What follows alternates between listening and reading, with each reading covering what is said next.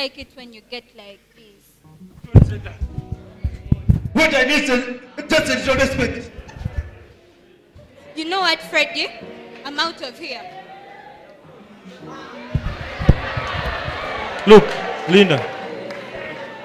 Li- Linda, I'm sorry. Don't go. Don't go. Look, I'm sorry.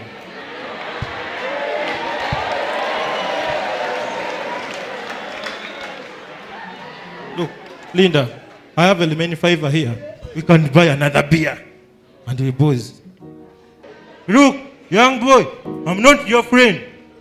Linda, she's my friend. You're jealous Just about what? of me and Linda. Just about what? Just.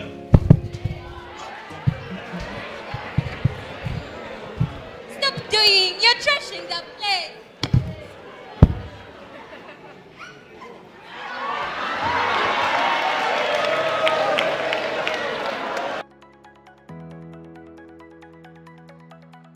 I realized I had bits of glass stuck on my cheek with blood all around.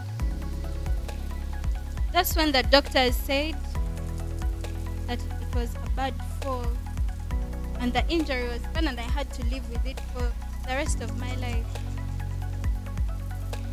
They said it would affect my career. I wondered how I got into that In that fight. And then an accident. Like that. Just because of a drunken fight. I didn't know that someone at the party had called the police. Freddy ran away. I couldn't cope up. I never wanted to be caught by police. They caught us and questioned us.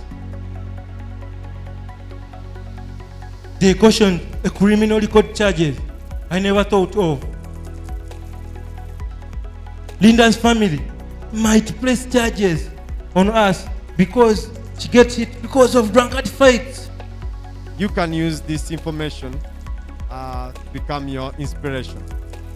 And you can use this information as your motivation.